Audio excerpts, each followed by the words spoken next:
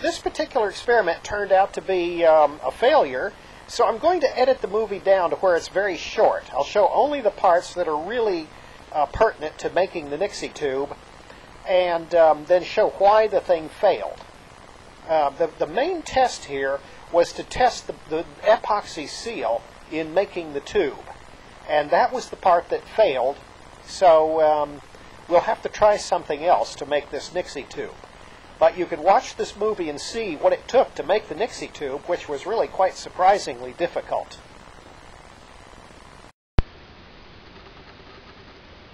Okay, this session we're going to go ahead and we're going to attempt to make a Nixie tube. Um, I'm not going to explain what a Nixie tube is. I assume that you already know if you're watching this. And if you don't know, well, keep watching and you'll find out.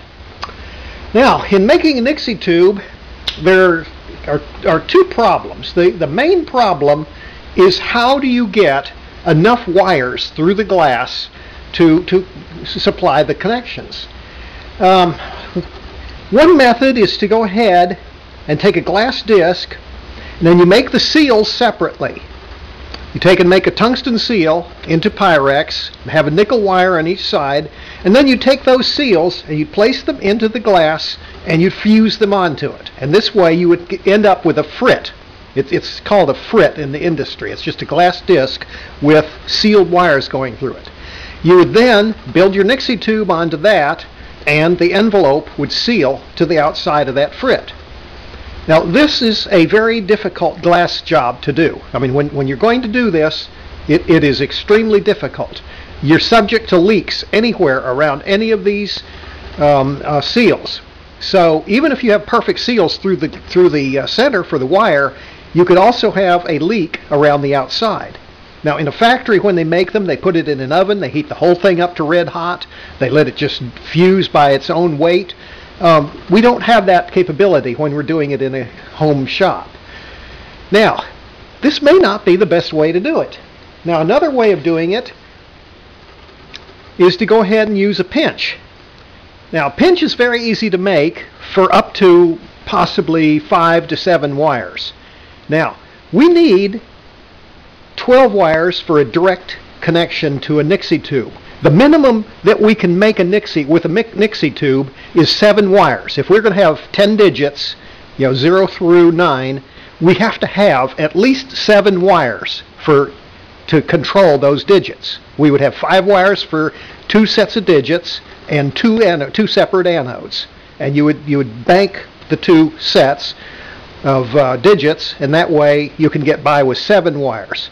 That still is a seven wire seal to uh, get through the glass. Now, also, the positions of these wires are not going to be exactly where you want them as far as the uh, the Nixie elements are. So, using a seal like this is possible, and we may end up doing it if we cannot do something different.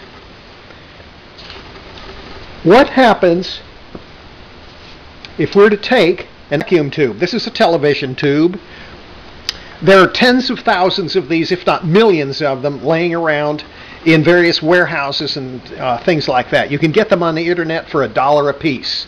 Um, they're, they're of no use for anything. No use whatsoever for anything. There are no TVs left that use them, and there's no other use for them. So, unless hobbyists have some use for them, uh, maybe audio people sometimes have certain ones that they will use. It has a frit with 12 leads on it. Now the problem with this is that this is soft glass. Now when they make this, it is made in a machine where the entire process is done at thousands of degrees. During the entire processing and manufacturing of the tube, none of the tube comes down below thousands of degrees. So you don't have trouble with annealing. The tube is, when it's finished, it's evacuated, and after that it's annealed, and the whole process is over. We can't do that in the home shop. We have no way to keep this thing always at a thousand degrees. So we're going to sit here and we're going to have that frit and we have to somehow seal the envelope onto that frit at room temperature. That's almost impossible to do. I mean, there are experienced glass blowers who know how to do this, but it is a very tricky thing and it takes a lot of skill to do it. What happens if we do it differently? What if we make a Pyrex envelope and we will take and cut the frit off of the tube and we will epoxy the joint. We'll use a, a, an industrial epoxy that will make the vacuum seal onto that frit. Can we get away with this? And this is what we're going to determine in today's experiment. We're going to build a Nixie tube and we're going to seal the tube using epoxy. And then we'll pull a vacuum on it and flat, we'll put a getter in it to go ahead and clean up the, the residual air in it.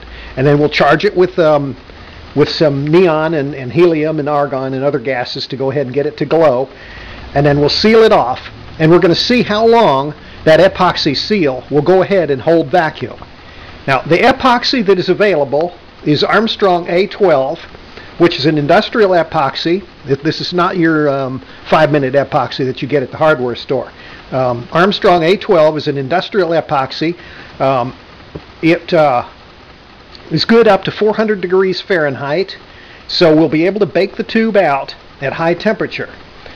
Now, the problem that we could have is that the Pyrex has an expansion coefficient of uh, very small, and the frit has a larger coefficient of expansion. So we're going to be having a junction between Pyrex and the frit where we're going to have a slight difference in the expansion ratio. Now the question is, will the epoxy make up for that expansion and make it to where it will not crack? I know for sure if we were to, to seal it, just use heat and seal the glass together, it would crack for sure. But maybe the epoxy will go ahead and give enough of a difference in thermal expansion to where we can get away with using the two different glasses together. So we have here a piece of Pyrex tubing and it fits just right over the frit. So we'll go ahead and we'll cut the frit off of this tube and we'll make the envelope out of the uh, Pyrex and then we'll put our, our uh, Nixie tube elements in there and then we'll seal it together. All right, let's get started. First, we'll go ahead and cut the tube open and get us a frit. Now, to hold the tube, we have a tube holder made here. It's cut to the same diameter as the tube, and we've got slits in it, and by having a spring, that spring clamps down on it, and that holds the tube. And we clamp that in the vise, in the, I mean, in the chuck. Okay, to cut the tube, we're going to go ahead and use the diamond saw. I'm going to make it about 3 eighths of an inch.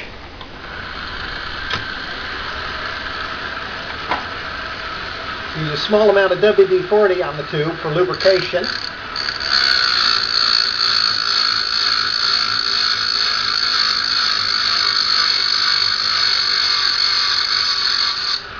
Okay.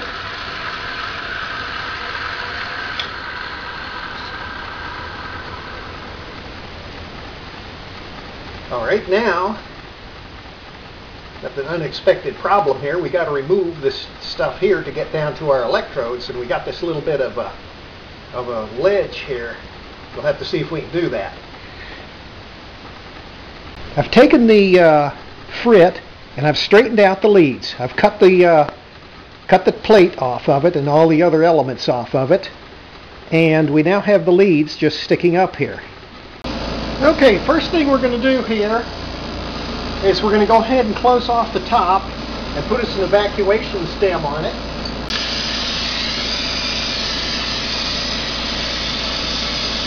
Close off the end of a big piece of tubing. First thing we do is we do what's known as pull a point. We just heat the end, pinch it shut, and then pull it and make a point on it.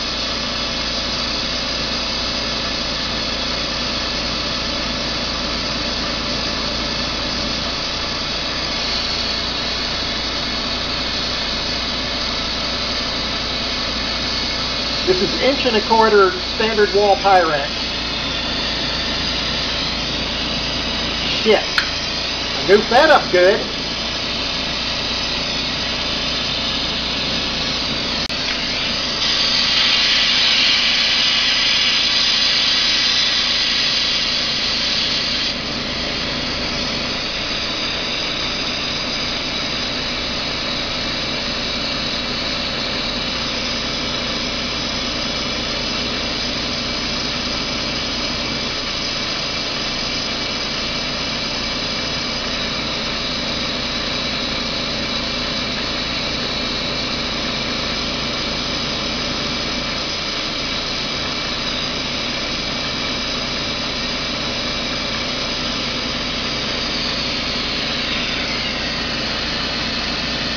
Next we're going to blow a hole in the end of it and put our evacuation stem on it.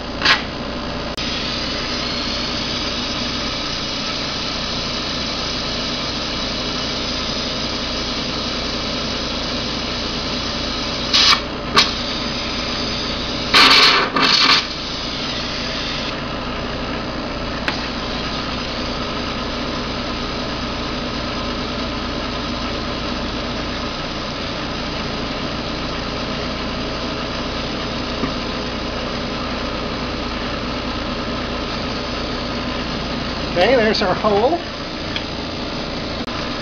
First I'm going to go ahead and put a little bit of a flare on the stem. That way it won't tend to close up on us when we uh, seal it on.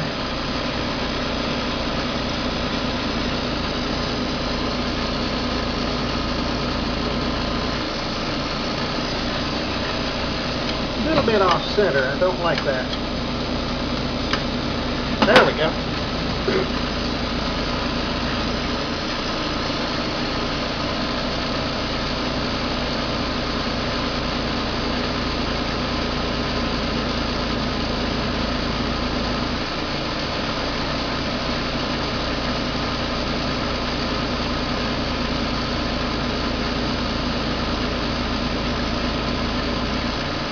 Now we'll go ahead and cut it off. I think probably about maybe two inches or so will be tall enough, two and a half inches for the Nixie.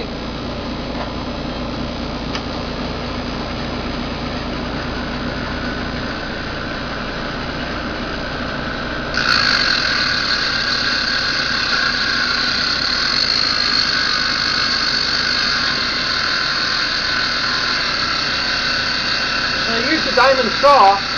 I just use a paintbrush with WD-40 as a lubricant.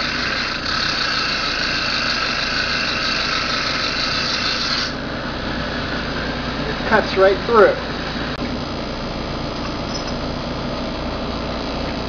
And there's our envelope.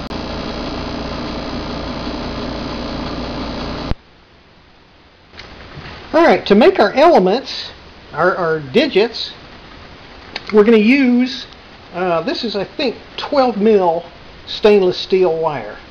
Everybody seems to like stainless steel for making Nixie tube digits, so that's what we'll use. I don't know anything about Nixie tube, so I have to just go on rumor. Alright, we'll just... okay, I'm going to just draw...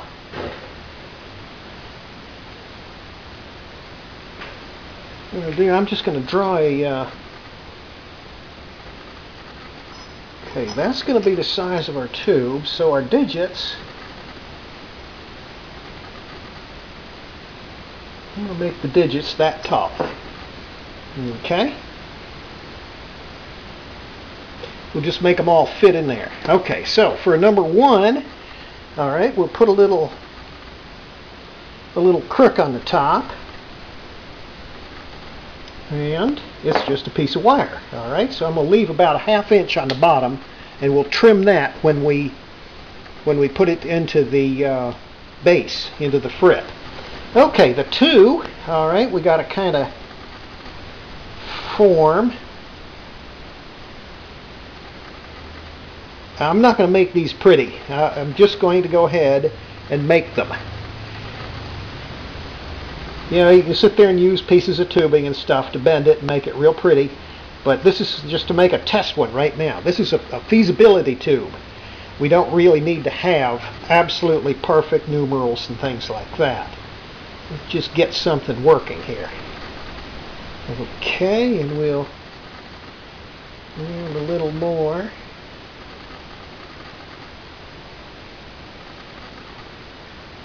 Okay, even more. Alright, that's going to do it. Okay, and then we're going to come way back. I'm just bending this wire. Okay, we're going to come back even more. Okay, and there's our two. Okay, and we'll leave a little extra for mounting it. I don't know how these are going to mount. Okay, that's two. All right, a three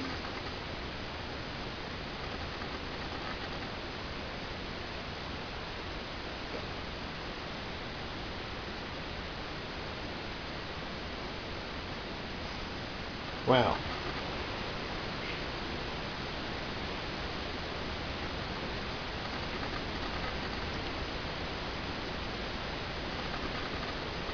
Some people propose to do this by etching on flat plate. I think that probably would um, be a pretty nice way to make some pretty numbers, but I don't know how how much uh, time it would take to do it. It might turn out to be quite time consuming. But if you're going to make a lot of digits, that would certainly save time in the end.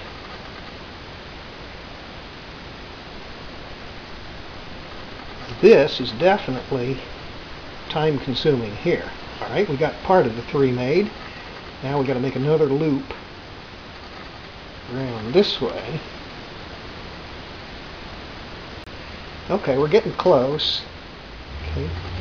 This is stiff wire. This is not um, annealed stainless. This is this is um, what they call is hard drawn stainless. It's very cheap. This this wire, the whole roll, this entire um, this is um, 100 feet of it, and it was about $27. So it's about 30 cents a foot, which is not really bad. Okay, there's our three. All right, a four. Let's see, we come four. We're going to just make kind of like that. All right.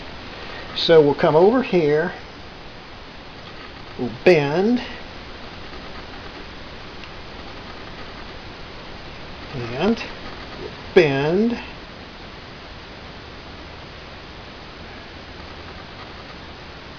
that was easy as pie. a four is an easy one to make. Look at that. I mean, just dip, dip, dip, and it was done. All right, there's a four. Now five, we got another curve to make. Oh boy.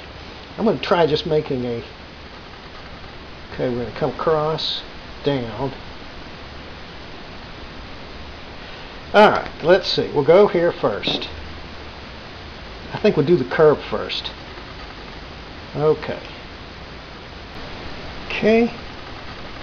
Down a little more on it. We'll go ahead and flatten these out after we're done. We'll take them and flatten them out good so they don't tend to short together.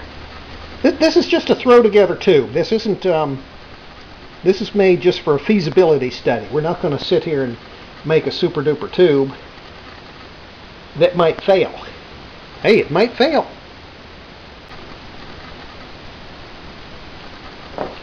Alright, and what we'll have to do on this one, we'll have to weld a wire for supporting it. We'll just weld it on there because I got not sure exactly how. See, we don't want to go from there because it'll glow down to there. So we have to catch it somewhere that it's not going to glow. I don't know exactly how to do that. I'm, I do not know how in a Nixie tube they stop the connection wire from glowing. Maybe they coat it with something or I don't know. Okay, a 6 will be like that. We got the same problem with it. So we see with a 4 we're right at the connection. But with a 5, we can probably connect right at the bottom and go to the connection. And 6, we'll have to do the same thing. We'll just weld a little wire onto it. I don't know really why I'm making all these digits. I think I'm just going to make... Well, the main uh, something I want to test is to see how much the, the stacking distance matters.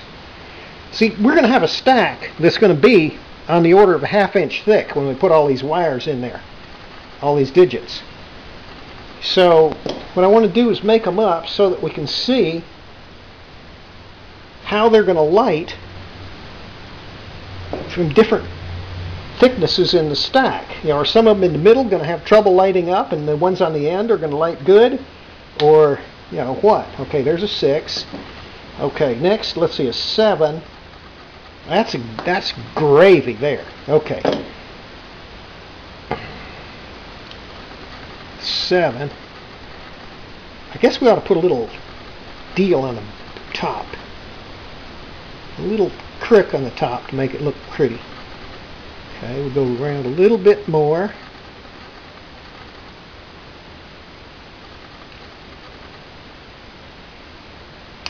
That looks good. Okay. Now the eight, that's a that's a booger. Eight is a booger. We got two complete loops to make. I'm gonna try wrapping it. Let me. I don't know what'll happen if I wrap it around a pen. That's too big. Let's try quarter inch drill. Okay.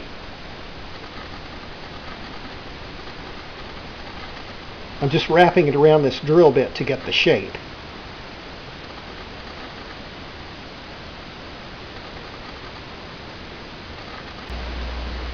Okay, we're getting there.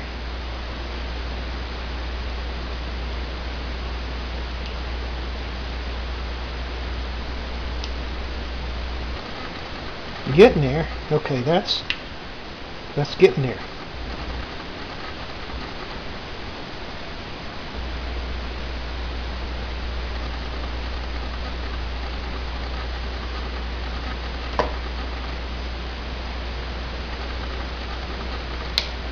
Okay.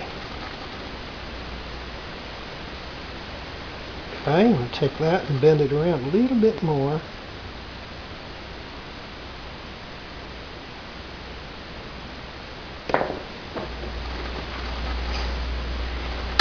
Oops.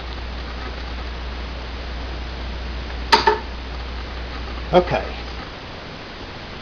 There's an A. Oops, I didn't weld that good. Let me hit it.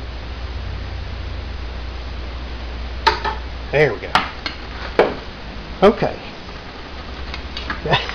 That's an 8. That's a number 8. It looks pretty good, actually. Alright, there's our set of wire digits.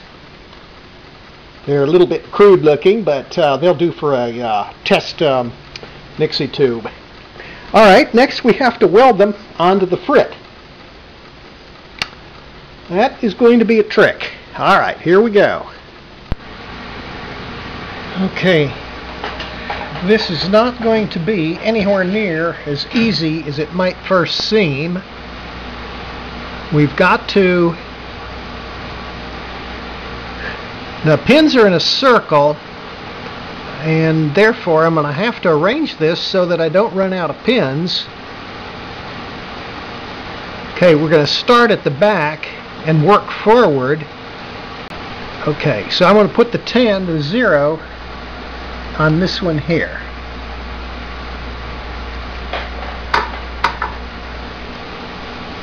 Alright.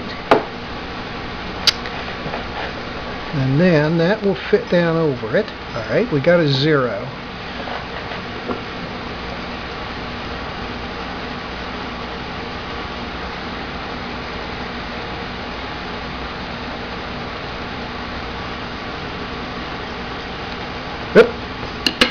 Little more current. Okay. Here goes again.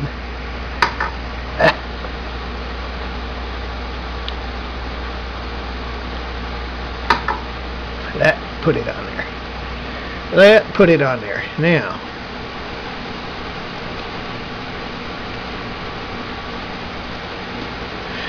This is not going to be very easy at all. It looks like stainless does not weld onto the pins very well. Alright, I'm going to run the current up a little more.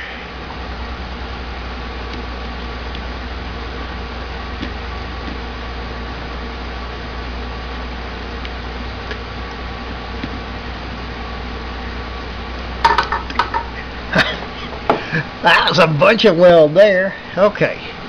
Let's see if it'll hold while we position it. Okay. It's on there. This is not going to be easy. Alright, there's a zero. Alright, next the nine. Let's see. I guess we're going to go this way. Okay, it will be there. I'm going to come down and go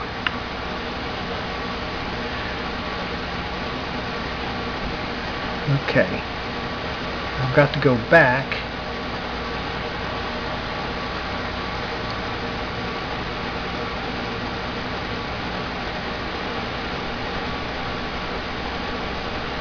And let's see. That's going to be it. Down. Down. Bending the wires to get it to where when that's sitting in the right place, it'll weld onto that back terminal there. Okay, I'm going to cut a little of that off.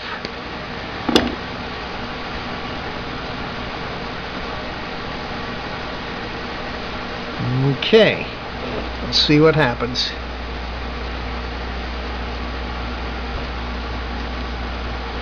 Maybe I can go in from this side. Yeah, here we go.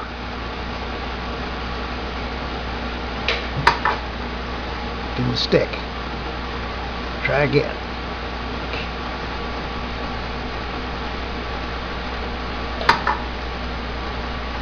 Try hit it again. Okay.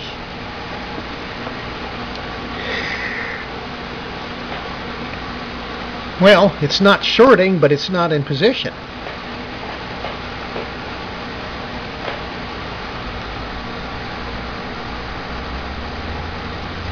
This is not going to be gravy.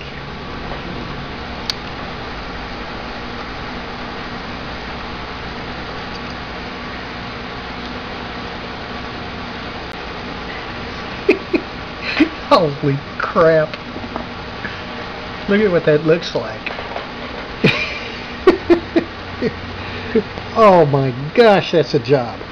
Okay, let's try getting the 8 on there.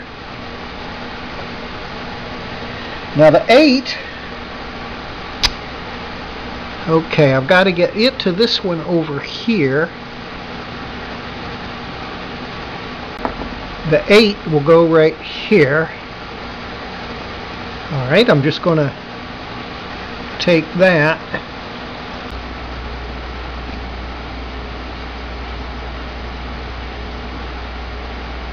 Squeeze it. Go.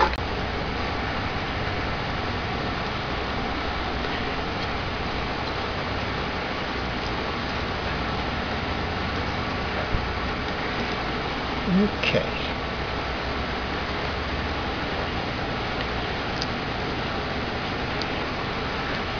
Okay, now I can see trouble already. Let's see.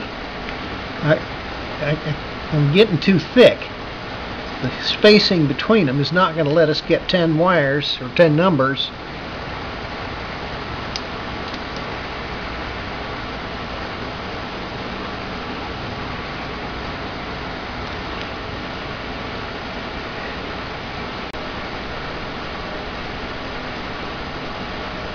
You can see that even if all this works, this is not going to be practical. I mean, unless you're just really, really getting off to having fun doing this kind of thing, I mean, this would drive you nuts. What if you're going to make like six digits worth of this? Wow. What it means is it's going to take some kind of a mechanical spacing. Now I'm just going to zigzag this back and forth. I don't know how many times I can do it. And this is going to be our anode. I don't know anything about Paschen's law or anything else like that, whether this is violating everything. Maybe none of the electrodes will glow. Okay, that's going to be our anode. if this thing works, it'll be a miracle. Okay. That is our anode, okay? Now, if that doesn't work, we'll hook it up with a virtual anode and be done with it. All right, now I got to straighten all these out before we seal it. Okay, and then the one is right there. That's it. I don't know if that anode is going to work. If it doesn't work, we'll hook the tube up with a virtual anode and just hell with the anode. We'll just, just go with it with no anode. Because um, we don't need an anode in the Nixie tube. It, it isn't necessary electronically. Okay, now there's one thing I don't have in there is the getter. Okay, I'm not going to open the getter up until we're ready. There's one thing we have to do. Epoxy is not going to stick to this shiny glass. So what I'm going to do is I'm going to take a diamond tool in the Dremel and I'm going to rough that glass up.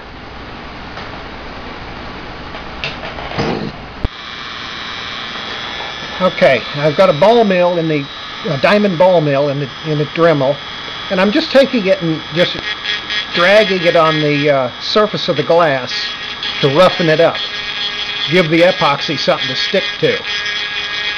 If you leave it shiny, it'll break loose from the glass and leave a, a, a microscopic crack for air to get in.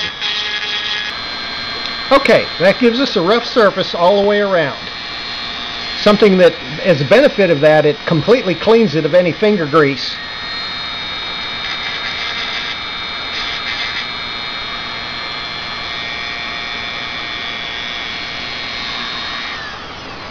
I'm going to do the same thing to this one. I'm going to use this sterile rag here that's been used to wipe up the workbench to clean the inside out um, and get all the grease off of it. I wiped the lathe off with it the other day, but it's still a sterile rag, you understand that.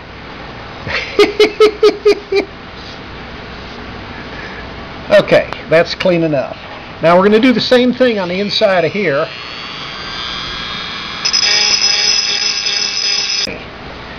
Now I'll take my sterile finger, completely oil-free finger, and I'm going to clean out the inside here. Okay, that's ready to go. Now, when those go together with the epoxy, that should form a perfect seal. Okay, the next thing is to prepare a getter and stick it on up there somewhere, and then we seal it off. Alright, for the getters, we're going to mount the getters right over the top of the tube. I don't know how much room I've got there. Okay, I'm going to put them about an eighth of an inch or a little more over the top. And I'm going to mount them to the anode so the getters themselves will act as more anode surface. Our getters are ring getters. These are high capacity ring getters. And I'm just going to weld them onto this wire first. Okay, I'm just going to zorch it right on there. Now this is, you know, not made to be a commercial tube. You couldn't send this in the mail and have it arrive anywhere in one piece. Yeah, break the glass. That'd be great. Okay, that's that's beautiful. That is really good. Okay, now epoxy time. We've got about four hours on these getters before they screw up just being exposed to air. Okay, we're using Armstrong A12. We mix two parts of B to one part of A. So I'm going to use my precision screwdriver to measure it. Get me a glob of B.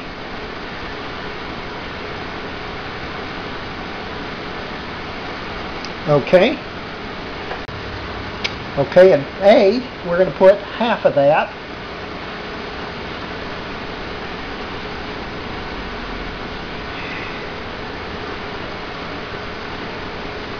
The mixture ratio on this is not serious. I, have mixed it anywhere from 1 to 1 to 3 to 1 and had excellent results with all of it.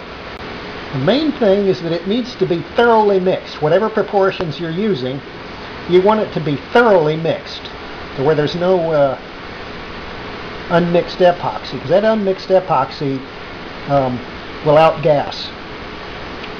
Everything that mixes goes into chemical combination and it won't outgas. But if we leave any liquid epoxy there, it's going to be outgassing and potentially could make the tube go bad. Working time on this epoxy is on the order of four hours, so we don't have any trouble at all like you do with 5-minute epoxy or JB weld. Now this epoxy is a lot cheaper than that hardware store stuff. You know, even though these cans cost about $70, when you look at how much is in those cans and compare that to those little tubes you get for, for 3 or $4 at the hardware store, it's a lot cheaper. It's about half price. And this is a heck of a lot better epoxy. Well, here goes nothing.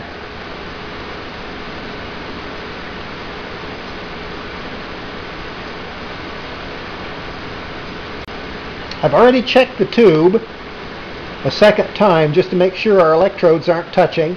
Whatever happens after now is too bad.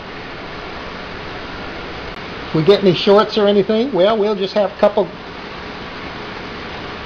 simultaneously lit numbers. This is just an experimental tube. This isn't a real real Nixie. It's, it's, it's demonstrating that this is a lot more difficult than what it seems. So all you guys out there who want to do this, you know, look at this and, and keep in mind, you know, you got to you know, overcome these problems. And this this is not a piece of cake. All right, now I want to get this in there without slopping epoxy all over the getter. Yep. And I'm just going to rotate that. Now, we have to let this sit for four, about four hours. Okay, now I've mounted the tube in the lathe, and what I'm going to do is just let it rotate like that, and that'll keep it centered. We're right on center now, and we got the epoxy on it. We're just going to let that sit for several hours, rotating slowly, and that'll keep it centered while, it, while the epoxy hardens. Now while that's going on, I'm going to fire up the vacuum system and have it all ready to go. Because we want to get these getters fired as quickly as possible so that we don't um, have them go bad on us.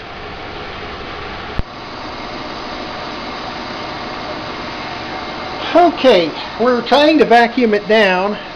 We're having no luck whatsoever. The pump will not come down below about 50 torr. We'll check it with a leak detector. You can see from the glow we got tremendous leak. The purple glow means we have a leak. And there it is right there. It's on the in the epoxy seal. And You see the sparks jumping right there. I don't know if that shows up on the camera or not. But quite clearly the epoxy did not seal. Okay, Examining it very closely with a magnifying glass, the problem is worse than just around the edge. Looking very carefully, there's a crack in the plane of the pins. The crack goes all the way around the center of the frit. In other words, the frit has been expanded or something to the point where it cracked the glass where the wire leads are, all the way around. So it has a major leak from there. The stresses were just so great that it literally pulled the frit apart. So this has got more problems using the epoxy than what at first appears. So that that really, uh, well, okay, something to just put in the junk box, a neat thing that we made. Well, till next time.